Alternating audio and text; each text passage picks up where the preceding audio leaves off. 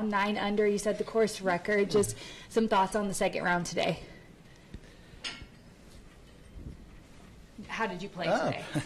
I play, I think one of my best uh, round in the uh, in the tour, and so happy to to make a course record. Huh? Play with the two great men like BJ and Stephen Ames, and enjoy enjoy. That's the the key to make under par.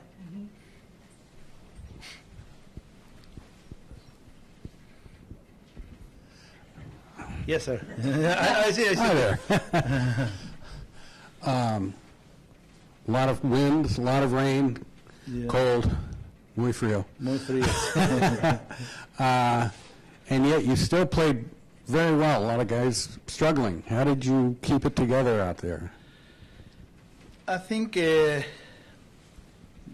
this, after Morocco, my putts was a little hot, make a, a lot of putt and feeling confident. That's I think is the the point to make a good score when you make, no? And and today feeling fantastic over the green and I made a lot of putts.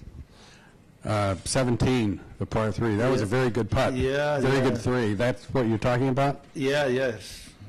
15, 14, 13. yeah, but uh, 17 is special because it's, uh, try to no, no make bogeys.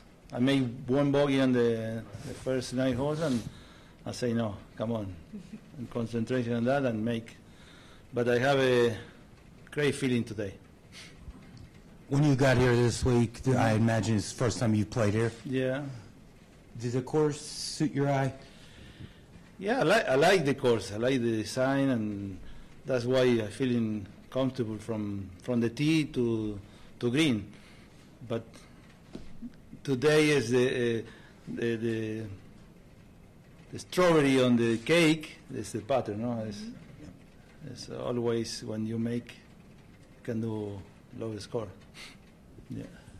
Does having Santiago, your son, on the Ye- bag, does that help you? Yeah, hel- help a lot. Mm-hmm. I think Santiago is 80% of my my putting today because I give me a good line and and then when you have feeling, I- you have the right line, everything is possible.